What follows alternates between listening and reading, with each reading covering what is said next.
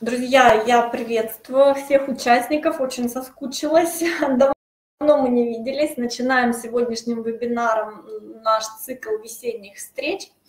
И, собственно говоря, тема у нас сегодняшняя, казалось бы, не очень-то про диссертацию, на самом деле напрямую связана а, с диссертацией и не только. Поговорим мы сегодня о двух синдромах, которые многих сопровождают на пути к цели, не только в связи с подготовкой диссертации.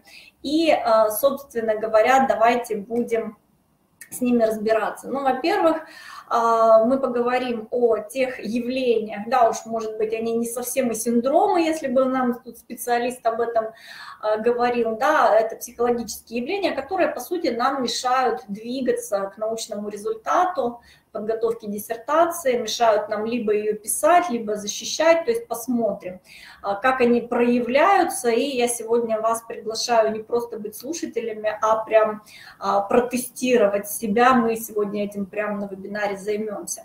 А, кроме того, мы поговорим о таком термине, можно сказать, да, он уже такой, часто достаточно его слышу, идеальная диссертация.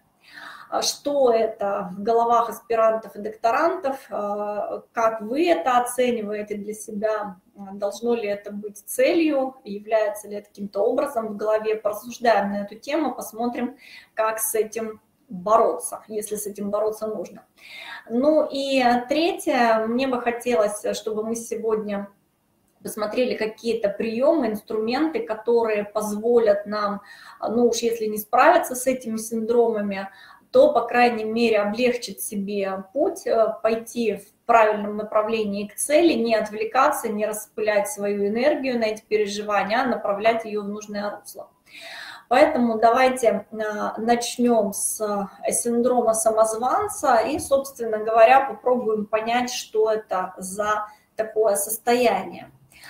А, вообще, первое упоминание о синдроме самозванца в психологии появилось в 1978 году, а, когда Паулина Кланс и Сюзанна Альмс а, написали в своей статье о нем. Статья называлась очень интересно «Феномен самозванца у успешных женщин. Динамика и терапевтическое вмешательство». С этой статьей можно познакомиться, я вам даже ссылочку на нее сделала. А, в общем виде, если рассуждать об этом синдроме, то можно его описать как некую комбинацию паттернов мышления, эмоциональных, поведенческих а, реакций, которые вызывают у человека сомнения в его достижениях, успехах, интеллекте или компетенциях.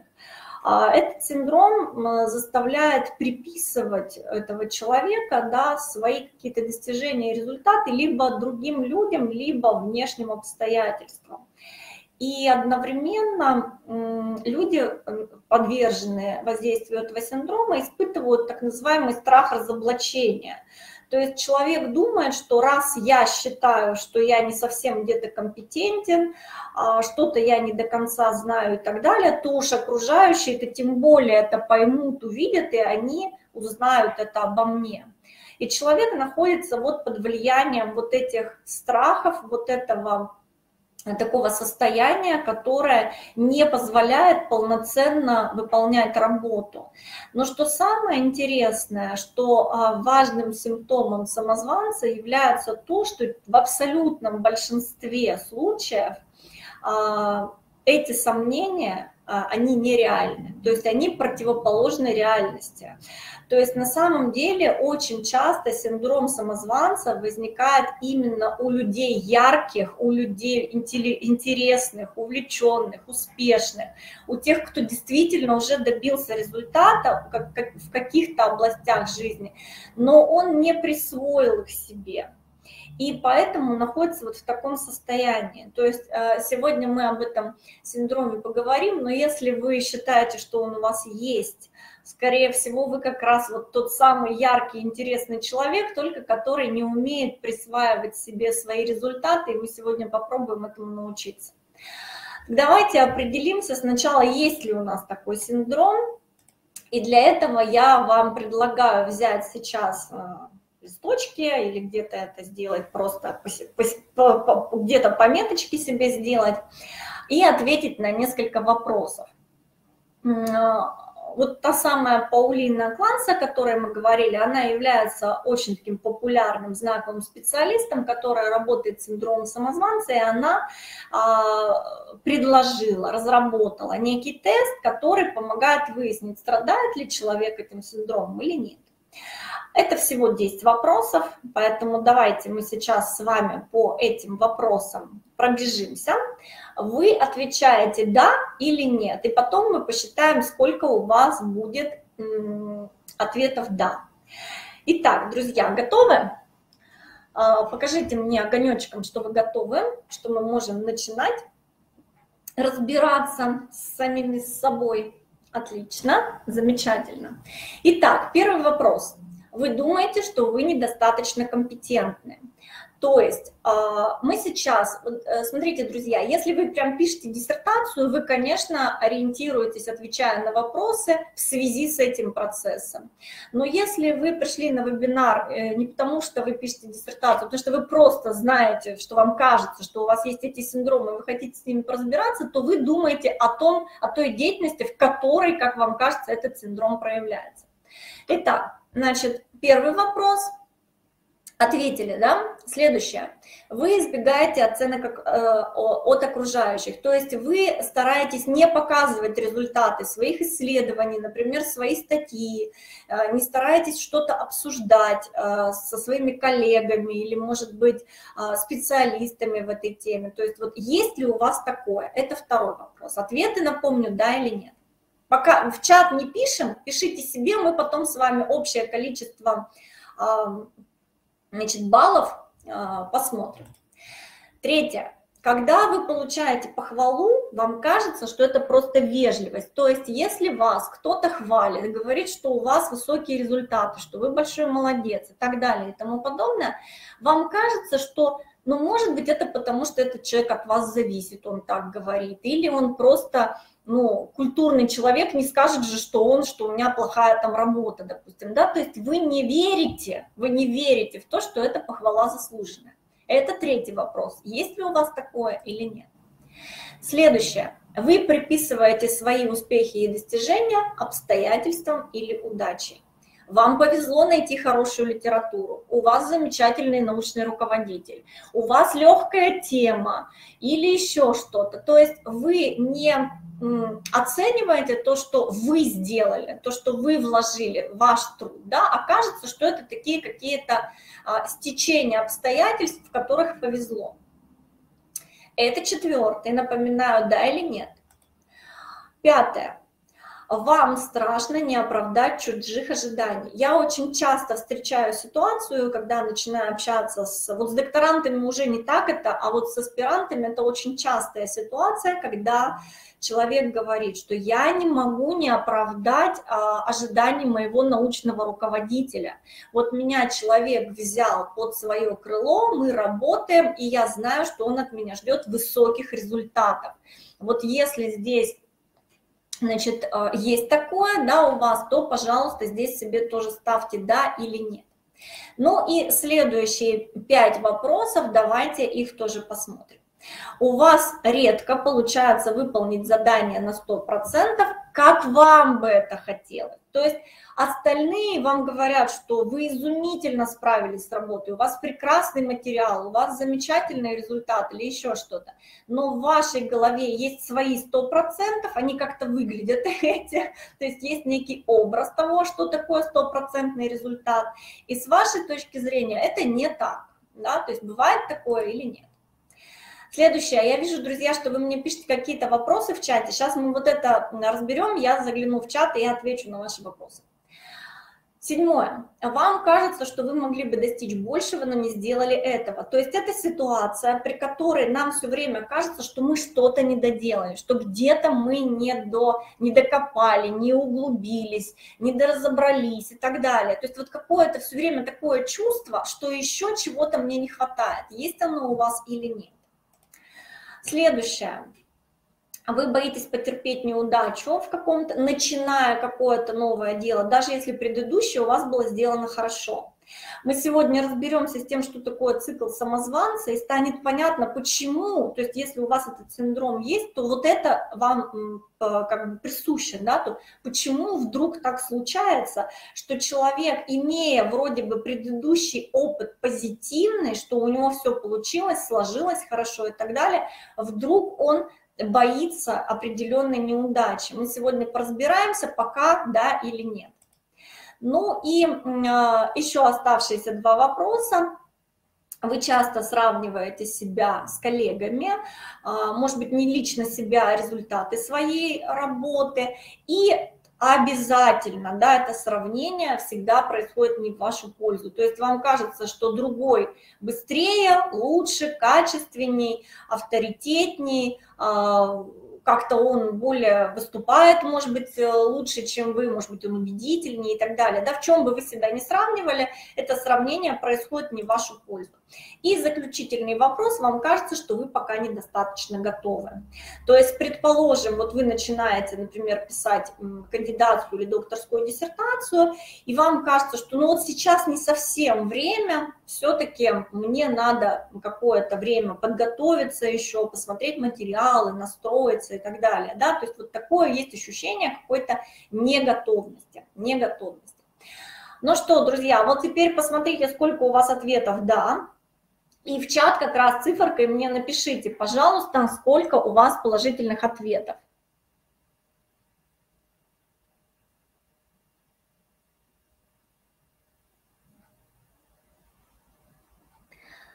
Так, а, вижу ответы Евгении.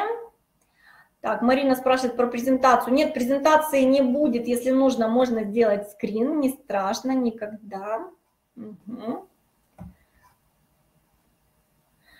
8 из 10, 7, 4, 4, 1, 7, 9, все, 6, 6.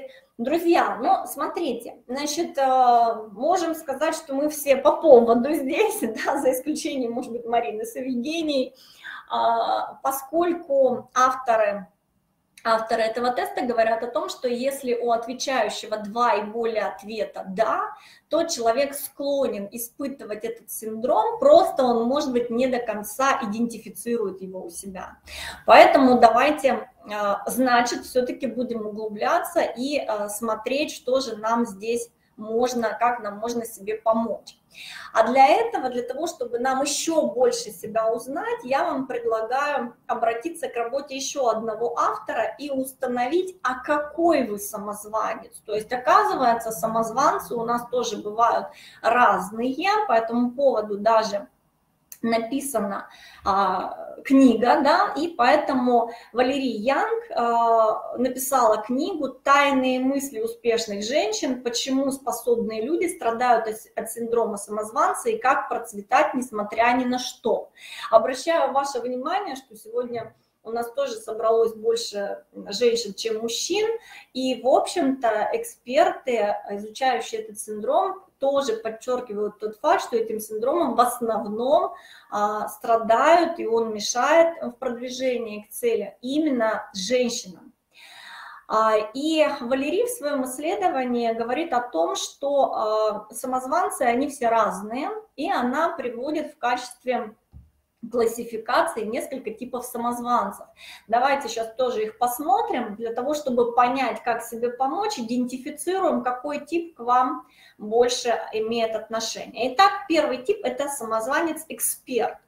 Что это за человек такой? Это человек, который постоянно ходит на тренинги, на курсы, он учится, он получает сертификаты, он пытается, то есть любой пробел в знаниях, который он только у себя находит, он сразу же пытается найти информацию, разобраться с этим.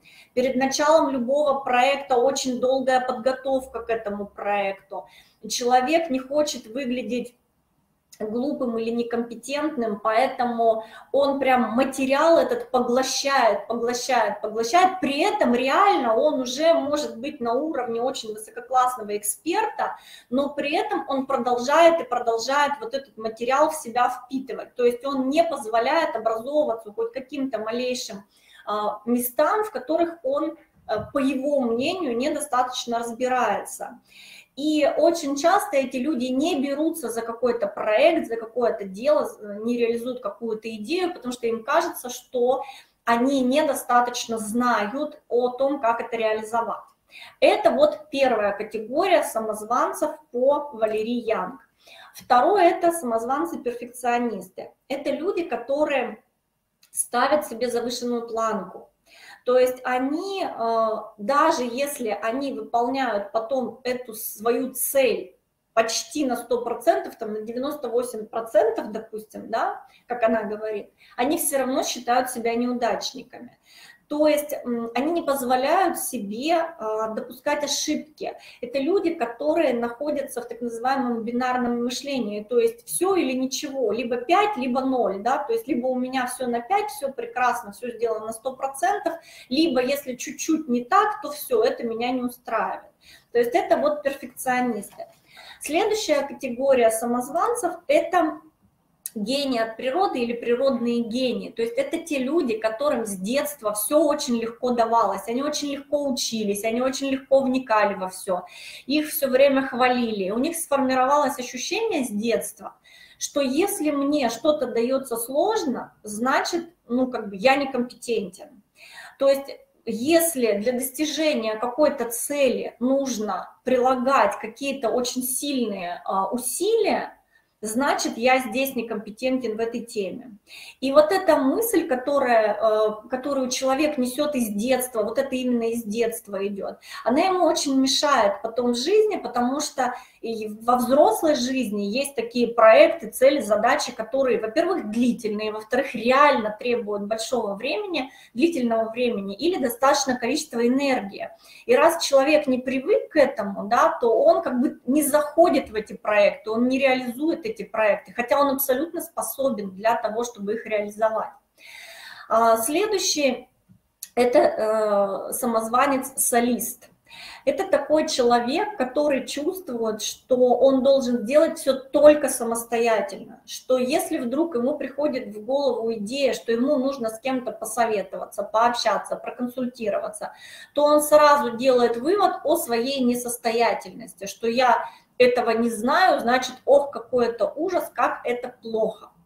Поэтому солисты – это люди, которые все будут до всего докапываться, доходить, изучать, углубляться, искать там ту же новизну или как что-то делать, они будут делать самостоятельно. Если они будут где-то учиться, они будут это делать в тайне, то есть чтобы это никто не узнал, что они у кого-то консультировались или где-то учились. Ну и а, еще один вид самозванцев – это супермен или супервумен. Это человек, который заставляет себя работать очень много и больше других везде то есть по всем фронтам. Он э, считает, что успех это такая категория, которая не может реализоваться в какой-то одной сфере жизни. И, например, он должен быть успешен и в работе, и в науке, и в семье, и в отношениях с детьми. Так, в общем, везде, везде он должен быть на максимуме.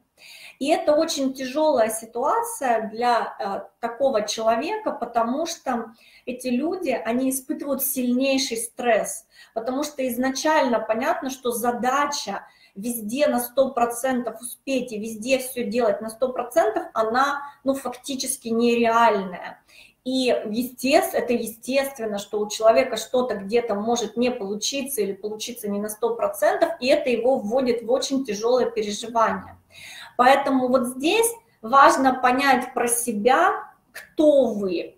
Если хотите, можете поделиться в чате, написать, кто вы из этих пяти категорий, либо, по крайней мере, себе на заметочку поставить, что у меня вот такая больше склонность вот к этому или к другому. Потому что здесь будут некоторые нюансы, да, для того, чтобы мы понимали, все-таки на что больше вам именно стоит обратить внимание, чтобы облегчить себе путь к результату.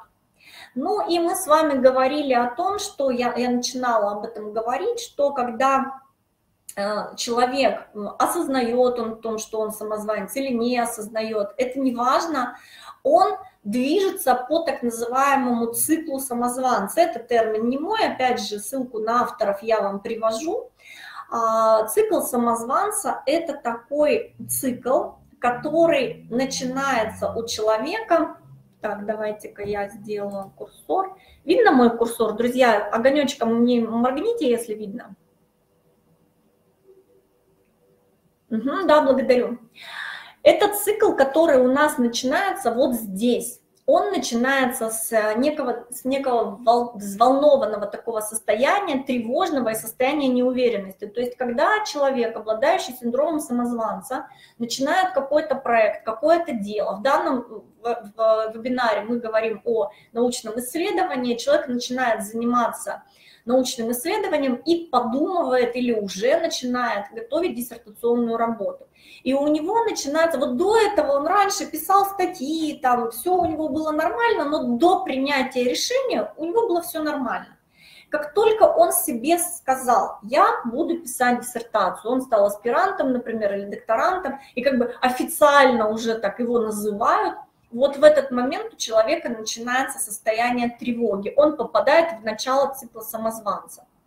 И в зависимости от того, что это за человек, кто он, эксперт, гений от природы и так далее, да, вот от этих видов, этот человек начинает двигаться по этому циклу вот по а, часовой стрелке. И получается, что либо он начинает, считая, что не совсем компетентен в вопросе, он начинает заниматься чрезмерной подготовкой, начинает изучать, как это нужно делать, какие требования к нему предъявляются, что это такое, читает массу уже написанных диссертаций, начинает погружаться в литературу, то есть он делает все одновременно, все по максимуму, все здесь и сейчас. И исходя из этого он начинает какие-то небольшие шаги. Например, там готовит статью, да, то есть он изучил, как это делать, и он готовит статью. Это первый сценарий. Второй сценарий – это ситуация, при которой человек со страха от этого волнения, он попадает в ситуацию прокрастинации. То есть он не может, он как бы замирает, он решение принял, но действовать он не может. Прокрастинирует, ищет этому всевозможные причины, веские причины, то в семье что-то, то на работе высокая занятость, то он там заболел, то еще что-то, да, то есть всегда находятся причины, но отодвигается а, процесс начала вот этой подготовки, в том числе, если мы говорим о диссертации, то диссертационной работе. И очень часто у многих это проявляется именно в научной деятельности тем, что люди не прикасаются к тексту, а они, например, пишут много-много статей, считая, что ну вот я, я же статьи-то пишу, а вот к тексту я пока не, прикас, не прикасаюсь.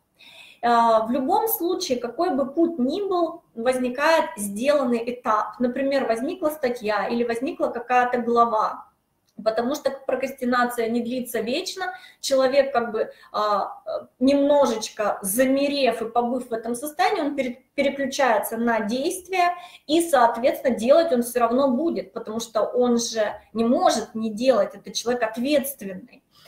И когда он достигает определенной цели, у него возникает чувство облегчения, то есть люди, находящиеся под влиянием синдрома самозванца, они вот так вот циклично, у них настроение, психоэмоциональное состояние, оно циклично. То есть то плохо переживание, то определенное облегчение, вдохновение. Возникает облегчение, что вот я молодец, я какой-то этап сделал, я э, продвинулся. Но как только этот этап происходит, и мы показываем вот этот проделанный кусок работы научному руководителю или какому-то внешнему эксперту или коллеге, или мы где-то выступили, например, на какой-то конференции, получаем обратную связь. Если эта обратная связь плохая, да, то есть, ну, сказали, что да, тут масса недостатков, то человек переживает даже меньше. Он себе говорит, ну я так и знал, и он просто продолжает эту работу. А вот если он получает а, обратную связь положительную, то у него он ее не присваивает, у него обесценивание происходит. Он себе говорит, ну потому что я вложил, то есть если он шел этим путем, он говорит, потому что я вложил много усилий, не потому что я умный, и я молодец, и это результат моего труда, а потому что я просто вложил много усилий, и поэтому возник результат. А если он периодически прокрастинировал, то он будет себе говорить, мне просто повезло, это просто хороший эксперт, у меня просто хороший научный руководитель, он меня не хочет расстраивать и так далее. То есть даже удавшийся шажок, он будет обесценен человеком. Человек не присвоит себе этот результат. И затем у него вот это вот состояние тревожности, оно с ним будет сохраняться. То есть он будет постоянно возвращаться в голове к вопросу, а они мне правду сказали, что это хорошо или нет? То есть мне стоит это воспринять и действовать, идти на следующий шаг или нет? То есть вот эта тревожность, она возникает. В любом случае наступает время следующего шага, возникает новая задача, нужно написать новую статью или статью другого типа, или следующую главу, или уже от написания диссертации перейти к ее защите, и этот цикл начинается вновь. То есть человек, который находится под воздействием этого синдрома, он постоянно вот по этому циклу ходит, он никак не может из него выйти из этого цикла. И наша задача сегодня, если вы узнаете, что это вам свойственно, что у вас такое бывает. Кстати, мои книги э, огонечком, кто вот заметил, может быть, мы даже себе не отдаем отчет в том, что вот мы вот по такому кругу ходим. И, соответственно, наша задача понять, а, что делать-то с этим всем. Здесь у этого цикла есть неприятные последствия. Первое последствие – это перегрузка. Из-за того, что человек, даже не потому, что он много работает, а потому, что он постоянно находится в напряженном состоянии. И, соответственно, энергия тратится очень Э, усиленная и на работу, и на вот эти переживания. И поэтому, конечно, достигается цель намного сложнее. На это требуется больше времени, больше энергии и так далее. И поэтому как бы человек себе будто бы подтверждает, что у тех все быстрее, а я даже если достигаю, у меня это происходит медленно, но потому что он находится в рамках этого цикла.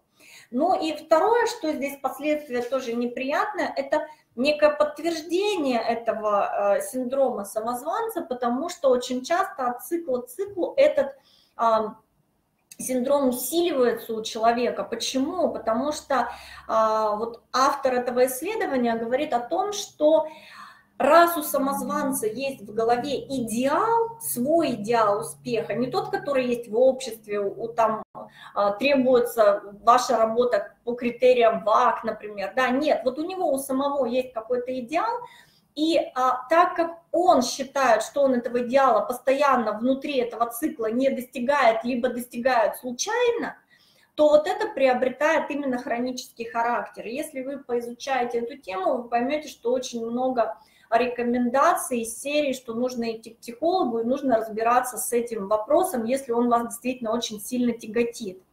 Ну и, безусловно, если мы говорим именно о диссертационной э, работе, да, то тут можно вспомнить еще один а, эффект, который называется эффект Даннинга-Крюгера. Он связан, вообще-то сам эффект не про ученых, да, он про а, людей с низкой квалификацией, которые чаще всего переоценивают свои способности, а как раз профессионалы, то есть более высокопрофессиональные люди, они склонны в этих способностях, своих способностях сомневаться, то есть они испытывают состояние неуверенности.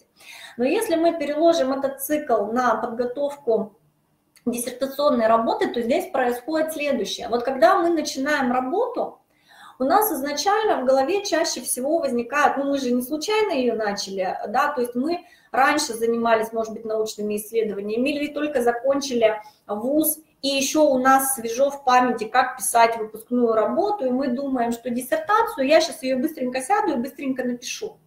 И изначально у нас есть такое, а, знаете, такое вдохновение, скажем так, да, то есть нам кажется, что мы сейчас все это быстро, легко сделаем.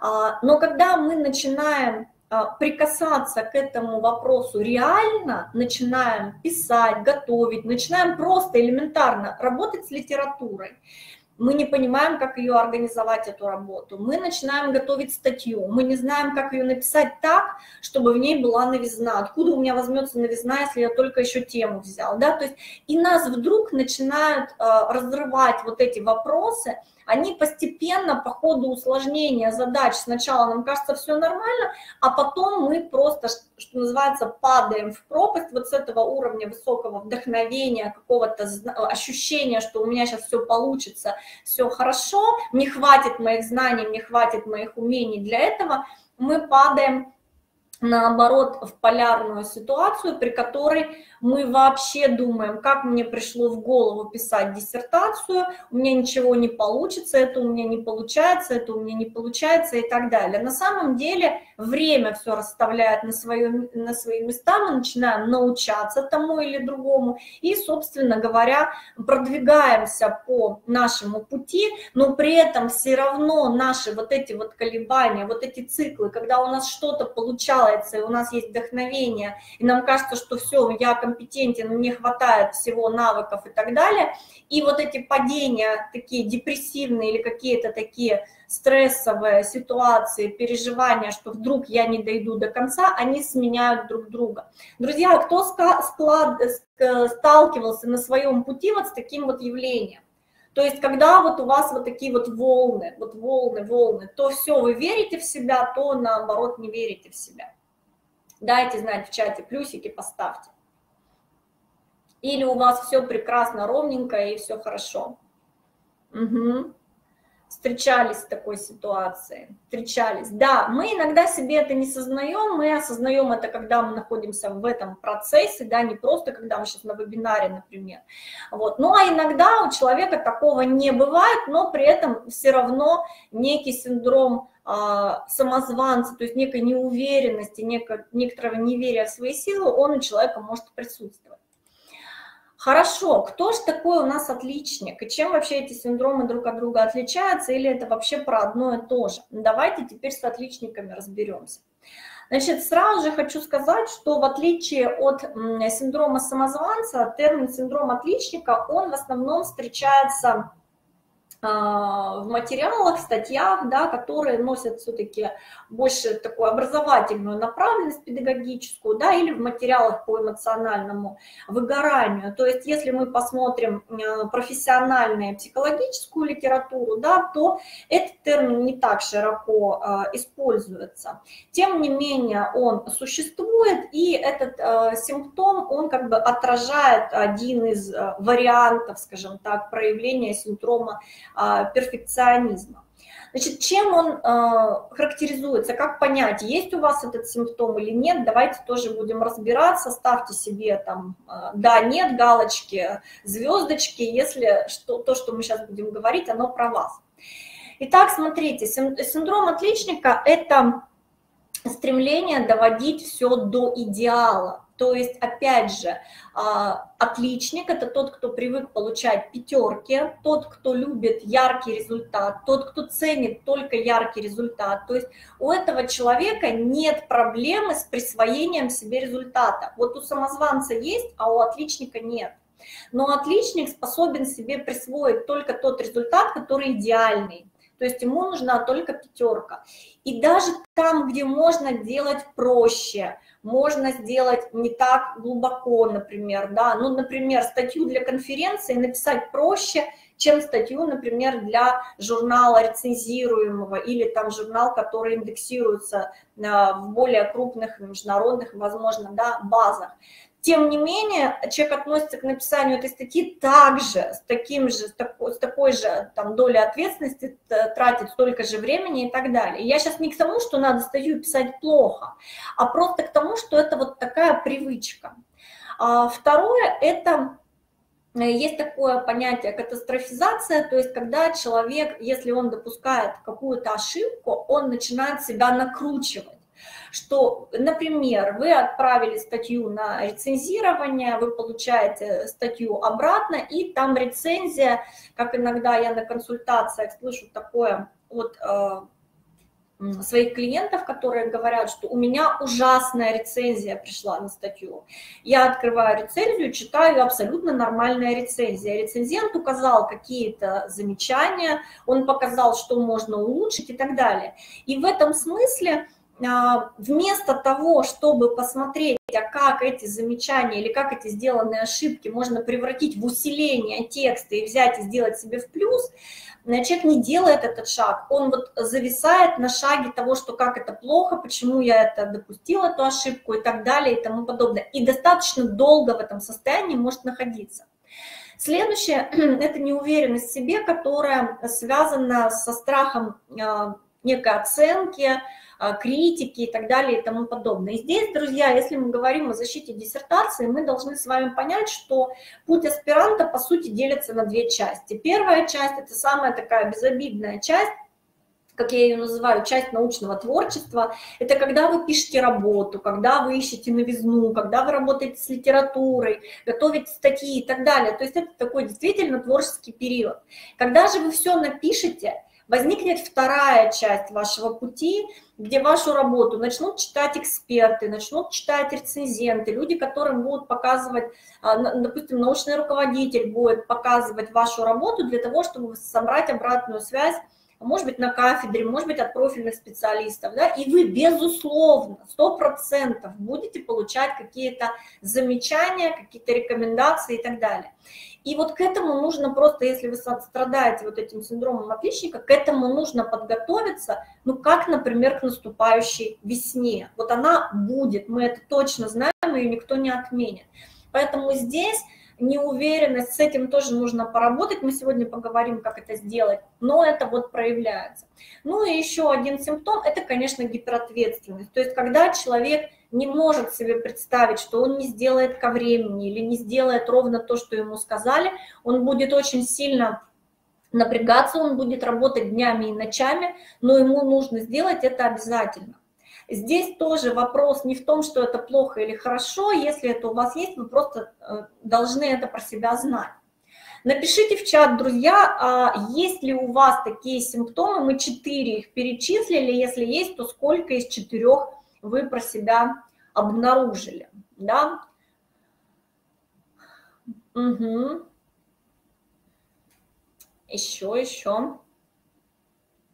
То есть все-таки у нас вот они вот присутствуют. Обращаю ваше внимание, что мы даже не всегда отдаем себе отчет в этом, да, то есть все про меня, пишет Марина. Ну вот, видите, то есть э, самозванец не про вас, а отличник про вас. То есть мы э, все равно, да, где-то что-то, вот раз мы, раз тема нас как-то триггернула и пришли на вебинар, видимо, что-то здесь все равно есть.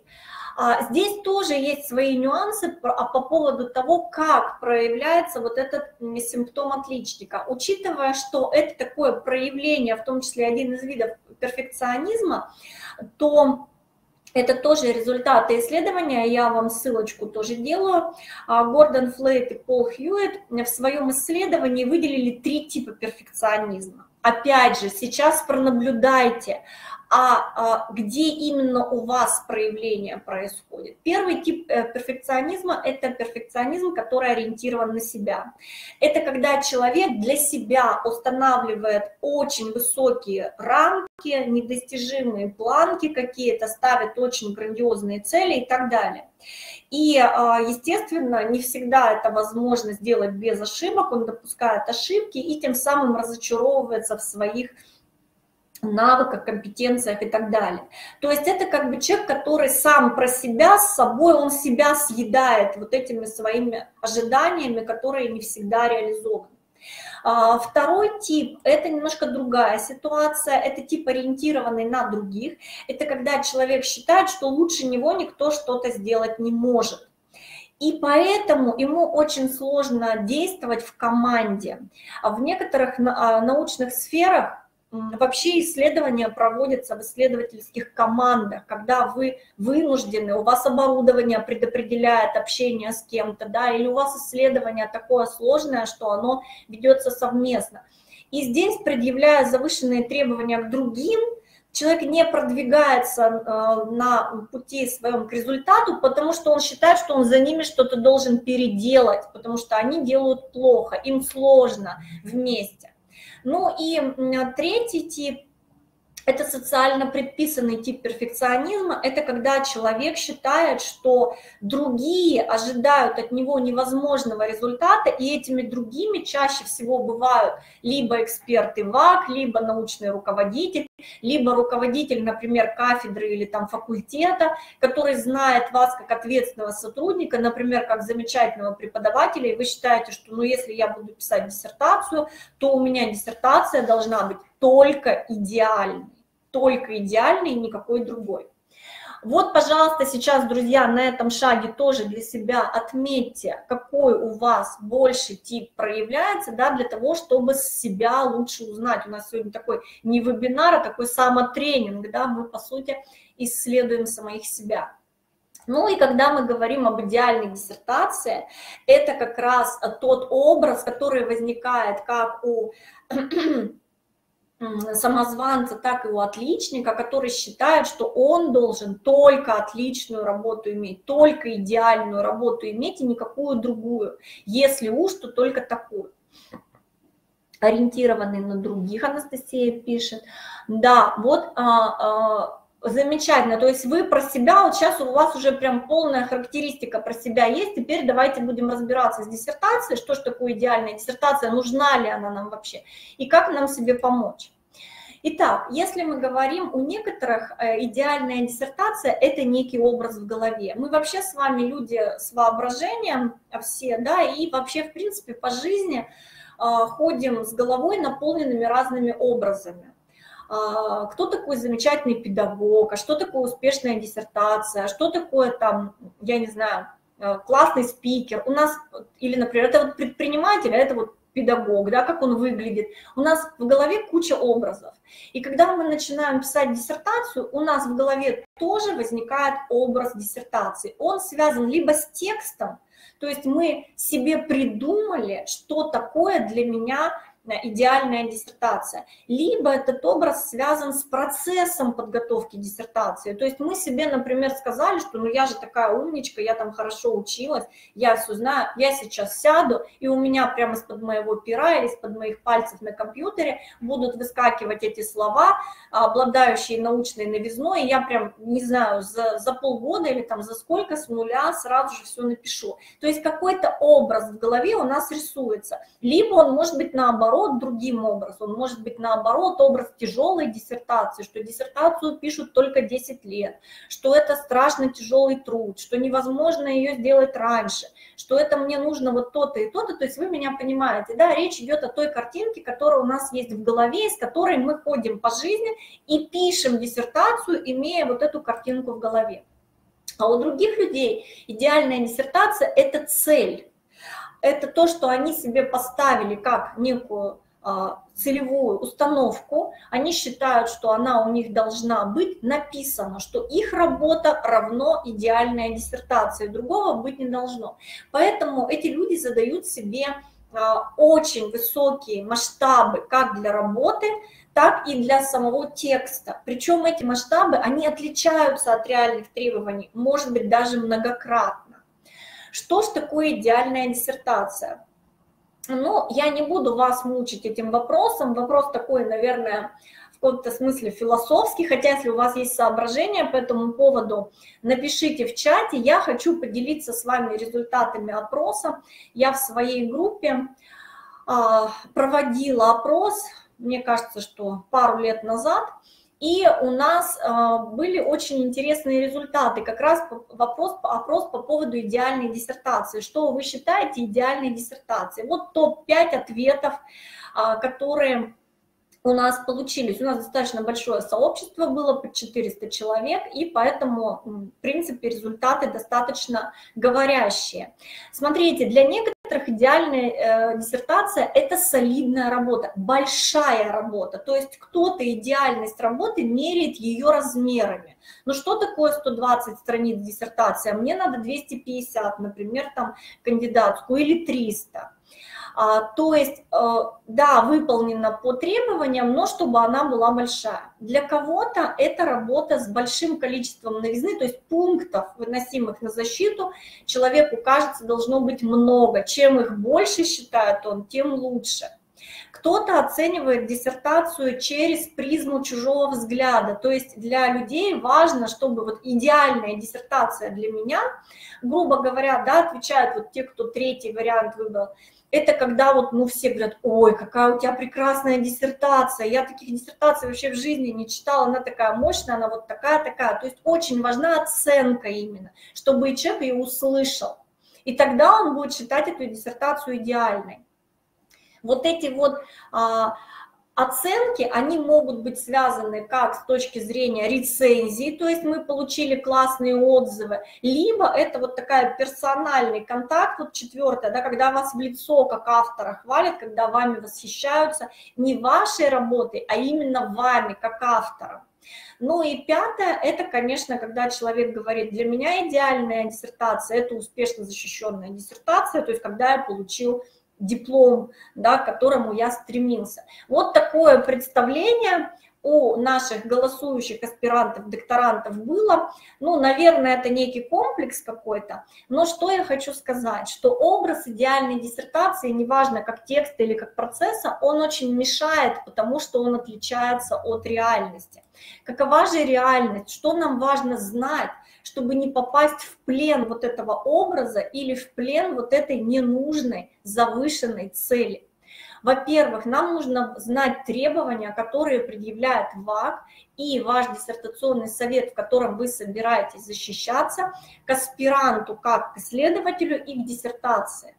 А, следовательно, мы с вами изучаем положение о присуждении ученых степеней, мы изучаем страничку диссертационного совета, мы смотрим диссертации, которые там размещены. Исходя из этого, мы можем очень многое понять об этих требованиях. Не обязательно они написанные могут быть, да, мы просто по тем примерам можем с этим разобраться. Следующее, нам очень важно знать специфику специальности, по которой вы защищаетесь мы когда начинаем встречаться на, на консультациях или на курсах, да, мы обязательно разбираемся со спецификой специальности. И, например, даже если специальность одинаковая, например, история, да, гуманитарная наука, значит, работа однозначно будет большая, допустим, у математиков, у технарей, у медиков работы могут быть очень компактные, 100-120 страниц, это прям уже все, диссертация кандидатская. Если мы берем работы, допустим, по истории, по философии э, и так далее, да, то там работы могут быть гигантские. Буквально несколько дней назад на консультации искали, ну, смотрели, какие работы, на что нужно ориентироваться – кандидатские диссертации 350 страниц, докторская 1000 с лишним страниц. То есть специфика специальности такова, я вообще впервые такие размеры увидела, такие объемы, но тем не менее, если вы выбираете, вы должны понимать. Поэтому, может быть, то, что вы себе говорите, большой объем, может быть, он вообще стандартный для вашей специальности. Следующее, это, конечно, критерии, по которым оценивают вашу диссертацию эксперты. Эти критерии можно, в принципе, понять из положения, можно а, разобраться с ними, опять же, глядя на а, другие диссертационные работы, обратить внимание, что в этих работах есть такое, что бросается в глаза, почему какую-то работу вы, даже просто как читатель, идентифицируете как слабую, а какую-то как сильную. Посмотрите, в чем там нюансы. Ну и, естественно, важно знать, как будет проходить процедура защиты, что вы как а, аспирант или докторант можете усилить в этой процедуре для того, чтобы она была ярче для вас, и чтобы вы могли себе сказать, да, моя защита была яркой, успешной, результативной, и вот поэтому такой у меня замечательные результаты. Я не боюсь, я не беспокоюсь, я понимаю, что у меня прошло все хорошо. Вот это что касается идеальной диссертации. И если мы вами к нашему синдрому добавляем вот это представление об идеальной диссертации, которая вообще нереально, представляете, насколько сильно мы затрудняем себе путь. Тогда возникает вопрос, как этот путь облегчить, как себе помочь, что здесь сделать такого, чтобы мне стало проще пройти этот путь, но при этом достичь цели, то есть при этом защититься. Как себе помочь? Ну, у нас, по сути, несколько сценариев есть, если мы оказались в такой ситуации. А, первый сценарий, я с этим ничего не могу поделать, вот я такой или я такая, я уже пробовал бороться с этими синдромами, ничего у меня не получается. Второй – это ситуация, при которой вы настолько от всего уже как бы замучились пробовать, да, и э, устали не соответствуем своим требованиям, что вы вообще собираетесь бросить писать диссертацию, вы уже на грани принятия этого решения.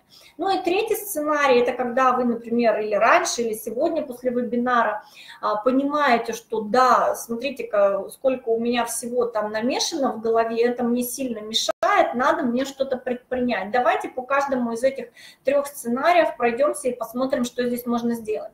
Но если вдруг у вас ситуация, что я такой, и вот я ничего с этим поделать не могу, а, как, как минимум надо просто принять свои особенности, вообще понять, что ну, это просто ваша индивидуальная особенность. Да? Вот если у вас голубые глаза, вы же не делаете их карими, ну вот вы такой, это вот ваше. И тогда хотя бы не тратить энергию на то, чтобы себя постоянно ругать, пилить, что вот все другие, а я вот такой, я вот не могу и так далее. То есть все-таки с большей любовью отнестись к себе и разрешить себе тогда вот этот, пусть более сложный путь, который вы сами себе создаете, но как-то себя поберечь на этом пути. То есть не, не иметь внутреннего хотя бы конфликта. А второй путь, если а, уже вот ощущение, что все, я не хочу, я не буду больше писать, я уже не могу. У меня в жизни был такой этап, я, может быть, рассказывала, когда я писала кандидатскую диссертацию, я бросила ее писать, то есть я отчислилась из, из, из, из, из, из соискательства со своего и вообще прекратила писать ее. Мне казалось, что я вообще, как мне пришло в голову, что я могу написать диссертацию, что это только для гениев, я вообще никакого отношения к этому не имею, несмотря на то, что я там отличница, медалистка и так далее и тому подобное, но это, это прям жило во мне. И в какой-то момент времени я просто сдалась. И э, иногда это происходит, вот как в моем случае, из-за того, что я согласилась с этим внутренним мнением, что оно правильное и остановилось. А для кого-то остановка может быть вызвана другим. Это может быть вызвано тем, что вы устали с собой бороться, вы устали вот в этом состоянии находиться, и, может быть, вы даже не отдавали себе в этом отчет, но вот этот упадок сил, и вы когда вроде бы выделяете время на диссертацию, из-за из того, что вы утомлены вот этим, этой борьбой внутренней, да, у вас очень низкая работоспособность, результативность низкая. И поэтому вы э, считаете, что ну все, я не способен, хотя это связано с вашим физическим состоянием, а не с интеллектуальным. Здесь что можно сделать? Здесь не надо бросать, по крайней мере сразу, не надо принимать это решение. Возьмите паузу, назначьте себе э, отрезок времени, который вы возьмете себе на подумать. Но в это время не просто, что называется, сидите и думайте, да, а постарайтесь в это время восстановить свои силы. Постарайтесь полноценно отдохнуть, постарайтесь, может быть, позаниматься своим здоровьем, прям, может быть, на обследование на какое-то сходить, может, на какие-то процедуры. А, нормализуйте физическую активность, сон, то есть вообще полностью переключитесь от диссертации, вообще забудьте о том, что она у вас существовала на какое-то время себе назначенное, и попробуйте пожить без этого. И это может, э, когда вернутся вот эти вот физические силы, это может э, вернуть вас к идее продолжать работу над диссертацией. У меня случилось именно так, потому что я защитила не только кандидатскую, но потом впоследствии и докторскую. Я очень благодарна моим коллегам, которые меня вернули на этот путь, потому что если бы не они, я, наверное, так бы и завершила бы с пониманием того, что это просто не мое. И э, если же у вас есть понимание, что с этим нужно что-то делать, как-то себе надо помочь с этими синдромами справиться, да, и вы готовы что-то менять, то что я здесь могу предложить? Ну, не я лично, да, я прочитала достаточное количество исследований, очень интересные, кстати, исследования на эту тему. И мне очень откликнулись несколько подходов. Я хотела бы с вами этими приемами поделиться. Я надеюсь, что каждый из вас для себя что-то выберет. Может быть, не все, какой-то один или два, и для себя их применит. Во-первых, когда мы решаем изменить эту ситуацию, первое, что нужно сделать, нужно разделить синдром на части. Вообще сейчас современные исследователи, а, как одного, так и второго синдрома, говорят о том, что это не вполне синдром, это больше феномен, это больше какое-то явление. Потому что синдром – это то, что имеет конкретные, конкретную специфику, и вот прям все симптомы должны быть обязательно. А у этих синдромов, и мы с вами сегодня тоже об этом говорили, разные типы, разные виды, у разных проявляются людей по-разному и так далее, и поэтому исследователи говорят, а вот вы протестируйте себя, пронаблюдайте себя, посмотрите, кто вы, какой вы самозванец, какой вы отличник, и именно с этой проблемой, с этой ситуацией, которая у вас наиболее активна, вот именно только с ней и поработайте. Если вы боитесь критики, поработайте именно с этим. Если вы там прокрастинируете, поработайте с этим. Если у вас завышенные, завышенная планка, посмотрите требования, изучите требования, вернитесь к реальному к реальным требованиям, да, снизьте немножечко планку, попытайтесь это сделать. То есть не нужно хвататься за все проблемы, которые у вас есть вот в этом, внутри этого симптома, а увидеть их. Сегодня мы это с вами на первой части вебинара ровно это и делали, для того, чтобы вы могли применить вот этот прием. И то, что вы у себя посчитали, вот вы написали, там у меня три три ответа «да». Вот значит, на это и нужно обратить внимание. На все остальное обращать внимание не нужно. Нужно решить вот эти задачи сначала. Как же себе мы можем помочь? Первый замечательный прием, который я хотела бы вам посоветовать, это составить список прошлых достижений. А, это наиболее актуально для тех, у кого есть синдром самозванца, потому что у этих людей очень плохо с присвоением результата себе. То есть мы не, как бы, э, даже когда мы уже чего-то достигаем или мы в чем-то компетентны, мы никак не можем свыкнуться с этой мыслью, что это правда так. И поэтому первый инструмент, вы садитесь в спокойной обстановке, можете сегодня после вебинара это сделать, если у вас есть время, сразу, что называется, по горячим следам, и написать список своих достижений реально того, что вы сделали, того, что вы достигли. У вас, может быть, уже есть там какое-то количество публикаций, может быть, даже значимых публикаций, может, у вас есть какие-то патенты, может быть, еще что-то. То есть все-все-все вспомните, в грантах вы участвовали, где-то выступали, запишите этот список и присвойте это себе. Что это значит? Нам очень важно а, вот хотя бы это записать. То есть вспомнить, да, осознать, что ой, так это я, а, это очень такая, знаете, открывающая практика. Признаюсь честно, недавно я ее вынуждена была сделать, потому что а, меня номинировали на, на, на одно там а, звание, мне нужно было составить характеристику на себя, да, то есть посмотреть. И когда я вот это все подняла, я себе сказала, ой, Наташа, как это интересно, неужели все это ты? Вот, поэтому это нормально. И я так сразу же заскромничала, мне было даже как-то немножко неловко. Поэтому, да, это, ну, наверное, большая часть нас такая, да, но тем не менее, присвойте это себе.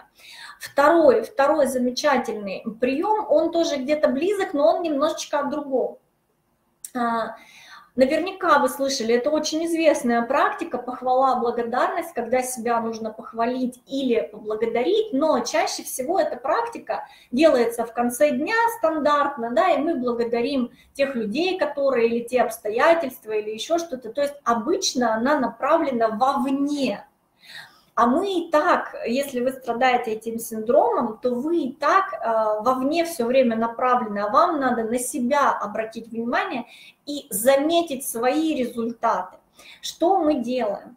Мы э, в конце дня или там, я не знаю, может раз в неделю вы ее будете делать, вспоминаем то, что вы сделали, да, может быть, вы написали 10 статей по диссертации, ой, 10 статей, 10 страниц по диссертации, может, вы изучили там 20 а, статей или прочитали монографию, неважно, какие-то шаги вы сделали, у вас какой-то есть результат. Во-первых, зафиксируйте, что это результат. Даже прочитать там статьи, например, и начать готовить э, свою статью или начать писать текст, это тоже результат. Результат это не только страницы, результат это не только защита.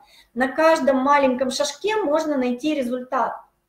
Так же, как в бизнесе устанавливается определенный KPI да, по каждой работе, вот вы точно так же можете себе результаты свои зафиксировать. И вот этот шажок заметить, раз мы его записываем, и его отпраздновать. Что это значит отпраздновать? А, по, по крайней мере, почувствуйте те ощущения внутренние. Важно создать позитивную эмоцию. Важно похвалить себя, важно поблагодарить себя, что вы имели смелость этот шаг сделать, заметить это, а может быть даже презентовать себе какой-то маленький подарочек. И вот, может быть, я не знаю, сходить в кафе для вас это там важно, или, ну, я не знаю, не то, что важно, но приятно, да, или, может быть, вы что-то хотели купить себе какое-то, да, то есть присвоить, опять же, попраздновать, заметить вот эти шаги, которые вы делаете, то есть это простой, приятный способ побороть вот это ощущение, что это не мое, это произошло случайно, это не я, это вот как-то упало мне с неба. Нет, присваиваем это. Следующий прием другого плана. Наоборот, если у вас сейчас не так все гладко, не то чтобы нет результатов, а наоборот ситуация, при которой вы находитесь в ситуации, когда вы сделали какую-то ошибку или вы, например, показали какой-то текст и ваш текст полностью раскритиковали. Что здесь можно сделать? Можно в ежедневнике завести маленькую страничку себе, в которой начать вести список ошибка-опыт. То есть вообще любые наши ошибки – это это бесценно, когда мы видим, что мы ошиблись. Почему? Потому что именно ошибка может позволить нам начать углубляться. А именно ошибки, которые мы допускаем на старте нашего пути, позволяют нам сделать потом наше исследование более цельным, более обоснованным, более глубоким. Потому что мы начинаем а, если бы у нас сходу все сразу же получалось, сразу же мы достигли, мы бы в эту глубину и не пошли. Поэтому очень важно любую ошибку, когда она у нас происходит, задать себе вопрос, а что я могу сделать для своего исследования, чтобы оно после этой ошибки стало лучше? Как я могу эту ошибку использовать для того, чтобы... Или, например, вы получили рецензию, у вас там какие-то, как вам кажется, ужасные-ужасные замечания рецензента пропускайте их через этот фильтр. Что я могу с помощью вот этих комментариев улучшить в своем тексте? И тогда все будет замечательно. Ведите список этих ошибок, опытов, и в какой-то момент времени, когда вы откроете этот список и увидите, что у вас там значительное количество ошибок, и ничего страшного в жизни не произошло, что эти ошибки можно и нужно допускать, потому что они вас двигают дальше и дальше – к вашей цели, то все в порядке, то их не так страшно становится совершать.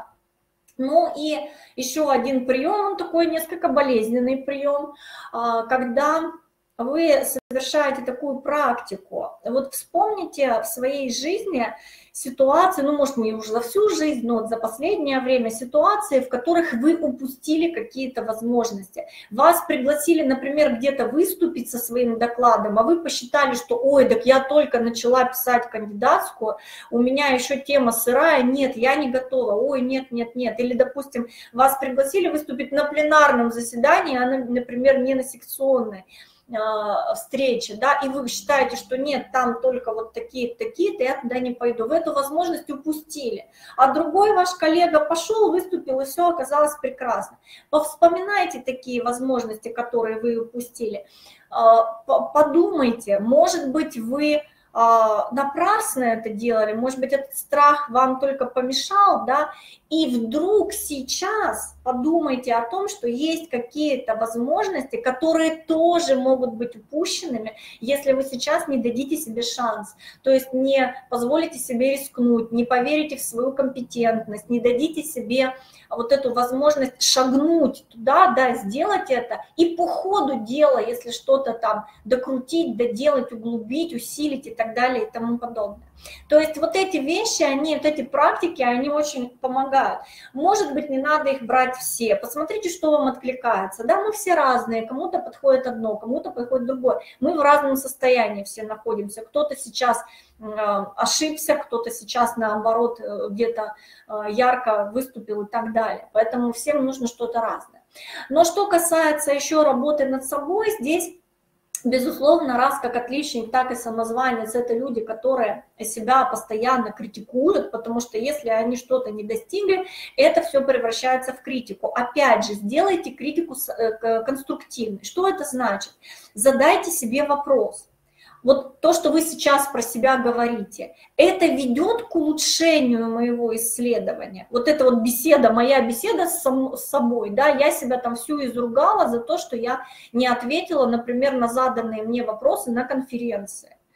Это ведет к улучшению моего исследования? Нет, это не ведет.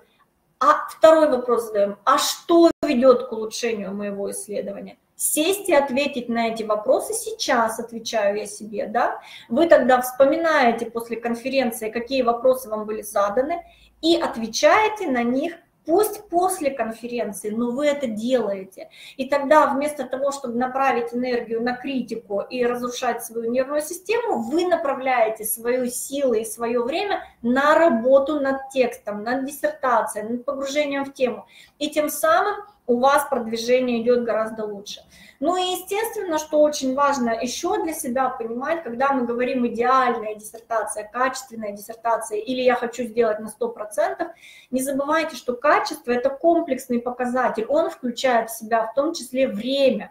Любая цель, как мы знаем, да, она должна быть измеримой, и она должна быть измеримой по времени тоже.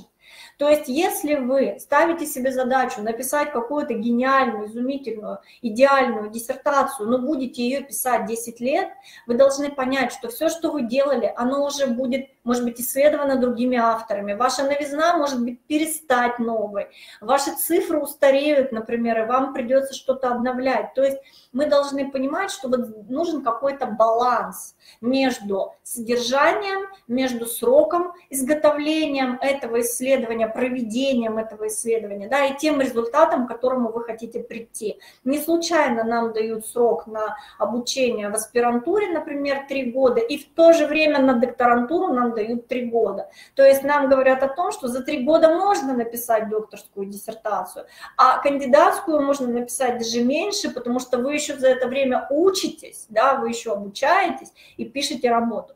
Поэтому, друзья, что здесь еще в заключении хочу сказать, что очень важно для того, чтобы помочь себе окружать себя людьми, которые вас поддерживают. Вот сегодня, например, на вебинаре понятно, что мы собрались не для того, чтобы сказать, ах, какие нехорошие эти самозванцы и отличники, мы должны найти были какие-то способы, как себе помочь, не только в диссертации, потому что для этих людей эти требования высокие ко всей своей жизни.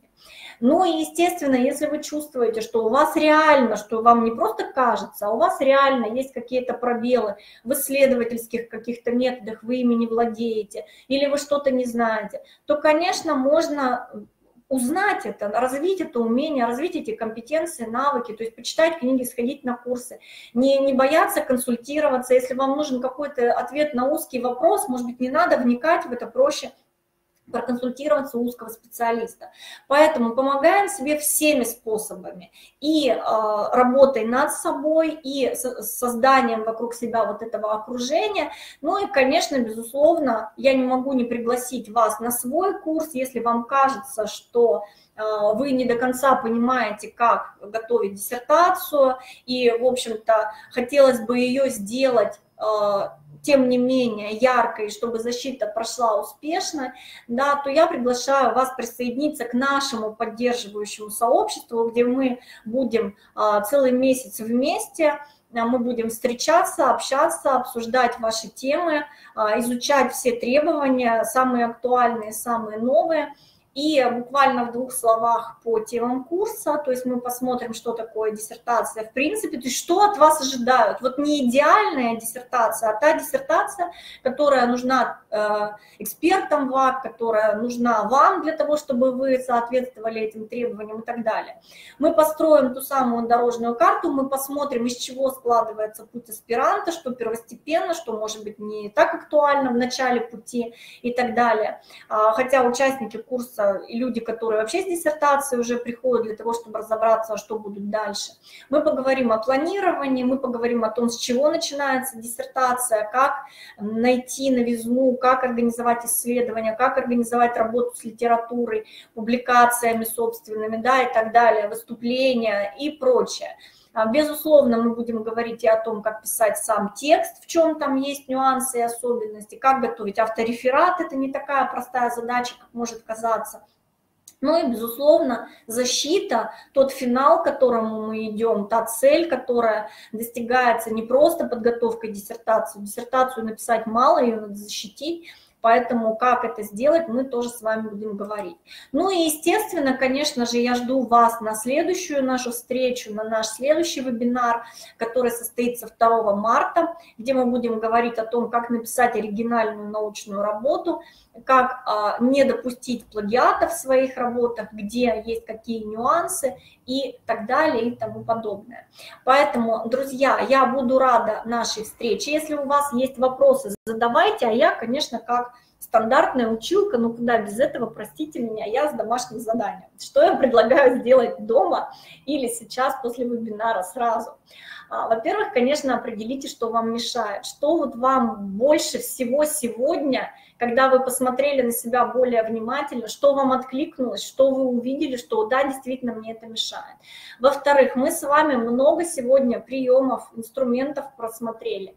Вернитесь еще раз к этому, посмотрите, что вам нравится, что вам хочется попробовать. И все-таки начинайте делать какие-то шаги по тому, чтобы хотя бы как-то немножечко смягчить вот эту ситуацию с этими синдромами, потому что они, конечно, мешают. Но и, безусловно, не забывайте э, отдыхать, не бойтесь ошибаться, сейчас наступают уже скоро более теплые деньки, старайтесь гулять, да, чтобы наша работа над диссертацией все-таки не затмевала нашу собственную жизнь, потому что она, конечно, идет, и ее надо тоже проживать.